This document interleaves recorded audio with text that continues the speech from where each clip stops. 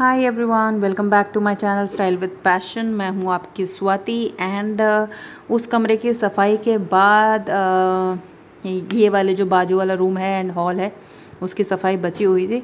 तो पंखे साफ़ करने की जो ड्यूटी है मैंने मेरे हस्बैंड को ही लगा दी थी क्योंकि uh, क्या बोलते हैं धूल मिट्टी से मेरे को थोड़ी एलर्जी है तो इन्होंने ही किया। तो सारा ए टू जेड जैसे हम लोगों ने मास्टर बेडरूम की सफ़ाई करी थी वैसे ही इसकी भी कर दी। एंड ओवरऑल uh, बहुत अच्छी तरह क्लीनिंग हुई। एंड मुझसे अकेले तो होता नहीं। तो हस्बैंड का सहयोग जैसे मैं बोलती हूँ। पहले मैं नहीं लेती थी। बहुत सारे अभी भी मेरी तरह होंगे जो नहीं लेते होंगे अपने हस्बैंड का हेल्प लेकिन आ, मतलब अभी जो सिचुएशन चल रही है कोरोना की अगर आप एक दूसरे की हेल्प नहीं करोगे तो it is very difficult to manage everything तो एक दूसरे की हेल्प करना भी बहुत ज़रूरी है। एंड uh, उसके बाद दिस इज़ नेक्स्ट डे तो हम लोग खाना बनाने के लिए आए थे दोनों मिलके। तो इन्होंने बोला कि ठीक है चलो मैं प्याज काट देता हूँ। हाथ से काटना तो मुश्किल है लेकिन कटर में काटना तो इजी है ना? सो so, जब भी मैं प्याज छिलके विलके निकालती हूँ कुछ हमेशा आ जाते हैं ये। और मतलब इस सीज़न में पहले नहीं अभी तो क्योंकि ऑफ़िस भी इनके ऑफ़िस को भी क्लोज़ कर रखा है क्योंकि ऑफ़िस में भी बहुत सारे कोरोना केसेस आ गए हैं। तो इसकी वजह से अभी घर में ही है फुल टाइम तो चलो खाना बनाना ही सिखाएँ थोड़ा थोड़ा बेस्ट रहेगा करके। सो अभी मॉर्निंग का टिफ़िन भी नहीं किया था चिकन करी बनानी है। मैं शेयर तो नहीं कर रही हूँ रेसिपीज़ बट बता रही हूँ।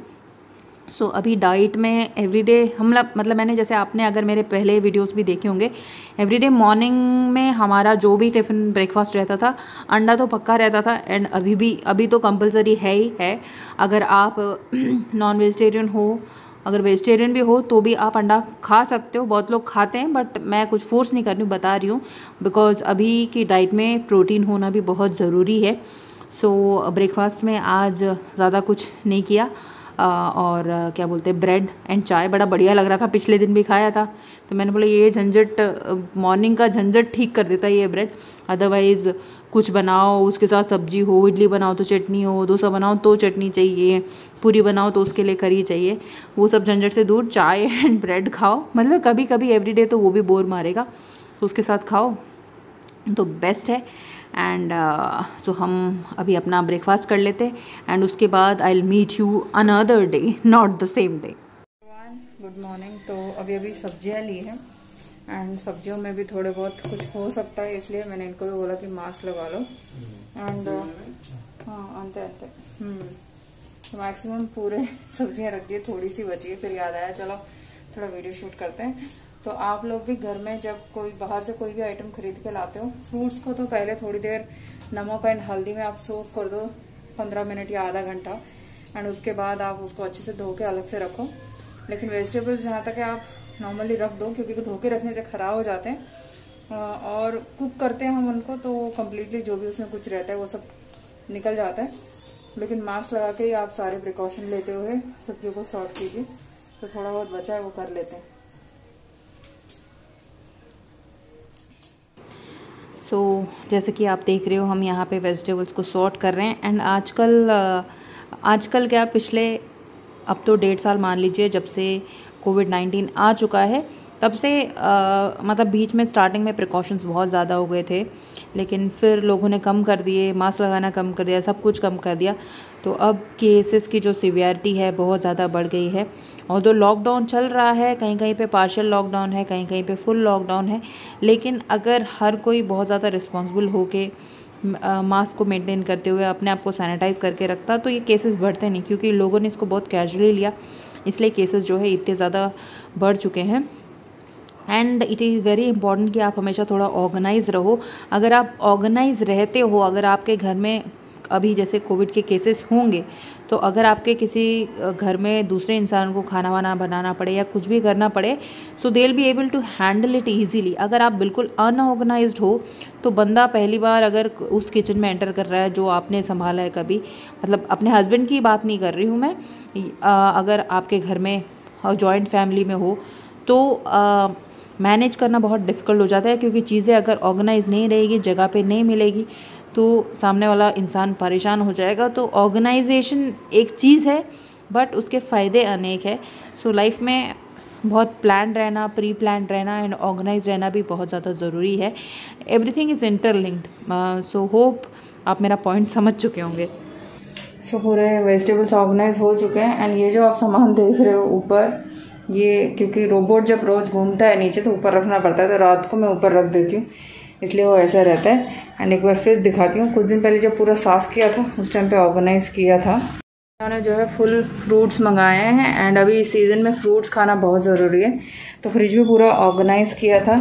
So I organise like this so carrot है, सारे वेजिटेबल्स लिए बैंगन, टमाटर। एंड आलू फ्रिज में नहीं रखने चाहिए बोलते बट मैं रखती हूँ।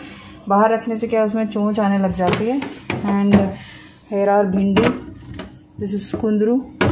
एंड इसमें धनिया है, इसमें अदरक है, इसमें नींबू है। तो ये अगर खुला रखते हैं नींबू एंड ऑल तो सूख जाते हैं। तो इसलिए कवर के अंदर रखा है। दिस इज़ सर्जन की फली एंड कल ये सारे आम लेके आए और बहुत सारे फ्रूट्स भी लेके आए तो फ्रिज तो पूरा ऑर्गेनाइज ही है। एंड दिस इज़ हरी मिर्ची जो अभी जिसकी ऊपर की ठुड्डियाँ निकाल के रखी। दिस इज़ बीन्स एंड उसके अलावा दीज आर लस्सी पैकेट्स तो अभी ज़्यादा से ज़्यादा पीनी चाहिए। जितना ज़्यादा आप अपने आप को हाइड्रेटेड रखेंगे लिक्विड फ्लूइड्स को अपने बॉडी में भेज के उतना ज़्यादा बेटर है। एंड उसके अलावा वो आम के अलावा ये सारे फ्रूट्स हैं जो कल रात को पूरा धो के रखे हैं अच्छी तरह। So kiwi and all orange apple banana and अंगूर ये सारे कुछ है। खाना बनाना है तो रेंड हम्म। मेरे हस्बैंड भी पूरी हेल्प कर रहे हैं अभी मेरी। अभी घर में ही है लॉकडाउन है तो एक दूसरे की हेल्प करेंगे तो आसानी से काम हो सकता है। पूरा अकेले ही करना है तो थोड़ा मुश्किल है। मतलब हमेशा तो अकेले किया है बट जब हस्बैंड लोग ऑफ़िस चल जाते हैं तब हम लोग कर सकते हैं। लेकिन जब घर में ही रहते हैं तो मुश्किल लगता है। तो मैं बोलूँगी कि आप घर में भी जब मिल के वेजिटेबल का काम आपने किया हो, उसके बाद मास्क लगा के फर्दर प्रोसेस करो। क्योंकि वेजिटेबल्स जो है, आप धो के या तो आप सुबह से लेकर शाम तक बैल्कनी में छोड़ दो। बट उससे दो डिसएडवांटेज ये हो रही है। बैल्कनी में छोड़ने से एक तो आप भूल जाते हैं। दूसरा, अगर बारिश आ रही है कभी कभी आजकल बारिश भी आ रही है तो जो वेजिटेबल्स बैल्कनी में रखे होते हैं, वो गीले भी हो रहे हैं। So that is one problem उसकी वजह से आप आने के बाद उनको रख दो और well cooking you can just wear mask which is safe anyhow. so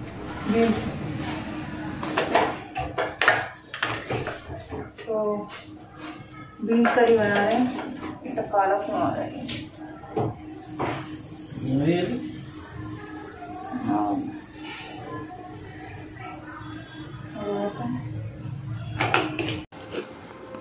so so, अभी यहाँ पे हाँ रेसिपी बनना शुरू हो चुकी है। साइड में चाय भी रखी हुई है। मतलब थोड़ी सी बची हुई है इसलिए वो केटली वहाँ पे रखी हुई है।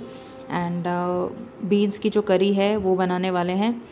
Although I am not sharing the recipe now if you want the recipe जब मैं आगे के वीडियोज़ पोस्ट करूँगी तो I will share I think पहले तो शेयर करके रखा होगा बट रीपोस्ट करने में भी कोई हर्जा ही नहीं है। हर दिन नए नए लोग देखते रहते हैं एंड बेशक पुराने लोग भी देखें तो रेसिपी देखने से तो अपने मतलब जो रेगुलर स्टाइल में बनाते हैं उसके अलावा दूसरे स्टाइल में फॉलो कर सकते हैं। एंड अब के जो वीडियोस होंगे आपको सब में मेरे पति जी हाजिर मिलेंगे। बिकॉज़ uh, बोलते हैं ना किसी काम को करने के लिए या किसी चीज़ को सीखने के लिए एक सिचुएशन uh, का आना ज़रूरी है। पिछले इतने सालों की हमारी शादी में कभी इन्होंने इससे पहले किचन में एंट्री नहीं ली। कभी आ, मैंने भी कोशिश नहीं करी कि मैं चलो इनको बोल दूँ कि चलो मेरी हेल्प कर दो या तो वो बोलते हैं ना सिचुएशन आनी चाहिए। तो अभी सिचुएशन ऐसी है कि आ, लोगों को एक दूसरे की इम्पोर्टेंस पता लग रही है एंड बाहर जो स्थिति है जैसे मैं रिपीटेडली बता रही हूँ उससे आ, मतलब ऑटोमेटिकली जो सेंसेस है कुछ ज़्यादा ही काम कर रहे हैं। तो इट इज़ वेरी इंपॉर्टेंट कि आपके घर में हर किसी को खाना बनाना आता हो ताकि अगर जैसे मैंने पहले वीडियोस में भी बोला है आ, कोई प्रॉब्लम हो अभी करोना सीज़न में भी नहीं अदरवाइज़ भी कभी आपकी वाइफ बीमार है या कोई बीमार है तो आप जो है एकदम बेसहारा फील ना करें। अगर आपको आता है तो चलो हम भी मैनेज कर सकते हैं वाली फीलिंग होनी चाहिए। एंड करोना में यहाँ पे मैं आपको एक टिप देना चाहूँगी जो मैंने अभी तक शायद बहुत लोग को बता भी दिया है। आ, आप चाहे घर में हो चाहे बाहर हो अगर आप बाहर से भी आते हो या आपने इस तरह से वेजिटेबल्स भी लिए हैं तो आप मास्क तो यूज़ करो घर में भी यूज़ करो। उसके अलावा आप जब भी अपना खुद का हाथ अपने फेस पे टच करने वाले हो तो यू मेक श्योर कि आपने अपने हाथ उससे पहले सैनिटाइज करे हुए हैं बिकॉज़ कोरोना जो फैलता है, दूसरे के हाथ आपके मुँह पे नहीं लगते। उनके छुए आइटम को आप छू के अपने मुँह पे जब लगाते हो, तब होता है। तो अपने हाथों से ही हम अपनी बॉडी में भेज रहे हैं कोरोना को। सो हमको अपने हाथों को अपने चेहरे पे टच करने से पहले बहुत ज़्यादा मतलब इतना अलर्ट रहना है कि आपके हाथ पक्का सैनिटाइज रहे, क्योंकि अगर आपके हाथों में नहीं होगा तो आपकी बॉडी में किसी हालत में वो पहुँच ही नहीं सकता है। सो जब आप बाहर से आते हैं घर में, अपने चेहरे को, बस अपने चेहरे को छूने से पहले, चाहे आप क्रीम पाउडर लगाने वाले हो, या नहाने वाले हो, या आप अपना खाना खाने के बाद मुँह जो साफ़ करते हो, जो भी कुछ करने वाले हो, उसको करने से पहले आपके हाथ सैनिटाइज होने चाहिए, क्योंकि कोरोना जो फैलता है आप जब अपने हाथों से अपने चेहरे को छूते हो और आपके जो ऑर्गन्स को टच करते हो फेस के, तभी फैलता है। तो मुझे लगा ये बताना ज़रूरी है। And repeatedly I am telling this because this will save many lifes and अगर आपके पास भी कोई इन्फॉर्मेशन है जो लोगों के साथ शेयर करने से उनकी हेल्प हो सकती है तो do share me that in the comment section because जिस तरह से अभी हेल्प कर सकते हैं हम लोगों की उस तरह से ज़रूर कीजिएगा। अगर आपके नेबर्स में किसी को आ जाता है, अगर उनके घर में कोई खाना बनाने वाला नहीं है तो कम से कम आप पका के उनको दे सकते हैं। इतना सा तो कर ही सकते हैं हम लोग। सो छोटी छोटी हेल्प, बहुत ज़्यादा बड़ी करने की ज़रूरत नहीं है। जो आपके हाथ में है, वो कर लीजिए, बस काफ़ी एंड लंच भी बन चुका है तो दाल बनी है एंड uh, ये बीन्स की करी बन चुकी है। दही मस्ट है अभी इस सीज़न में खट्टा खाना आपको बहुत ज़रूरी है। मतलब खट्टे आम खाने के लिए नहीं बोल रहे खाना बहुत ज़रूरी है। तो एंड फ्रूट्स बहुत ज़रूरी है तो मेंटेन करते रहिए एंड uh, अपने आप को फिट रखिए। मैं मिलती हूँ अपने नेक्स्ट वीडियो में तब तक टेक केयर बाय बाय